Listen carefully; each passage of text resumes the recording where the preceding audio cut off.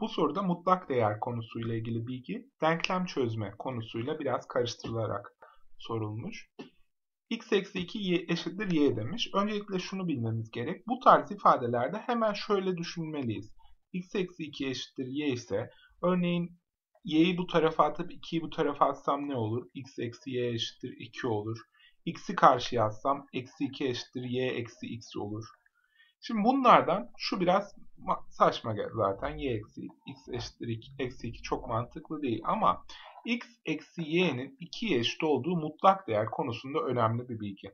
Çünkü ne demek oluyor bu? x eksi y 2 ise x y'den büyüktür demek oluyor. Dolayısıyla bize verilen ise şunun değeri nedir kısmındaki x eksi y pozitif bir şey. Çünkü x eksi y'nin 2'ye eşit olduğunu bulduk. Nasıl bulduk? 2'yi bu tarafa, y'yi bu tarafa attık. Şu zaten 2'ymiş. 2 artı y eksi x ne olur? Mesela x eksi y 2. Ne, ne demek bu? Örneğin 3 eksi 1 eşittir 2 diyebiliriz. 4 eksi 2 2 diyebiliriz. Yerlerini değiştirdiğimizde ne olur? Örneğin 2 eksi 4, 1 eksi 3. Bunlar eksi 2'ye eşit olur. Dolayısıyla y eksi x aslında içerisinde eksi 2 bulunduran bir şeydir. Ama mutlak değer olduğu için bu da dışarıya artı 2 çıkar. Dolayısıyla 2 artı 2'den 4 olur.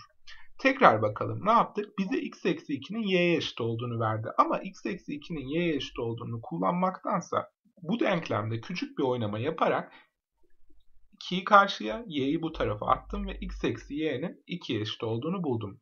Bu benim için önemli bir bilgiydi çünkü bunu getirip şurada kullanabilirdim. x eksi y yerine direkt 2 yazabilirdim. Gel, yazdıktan sonra y eksi x'e geldi.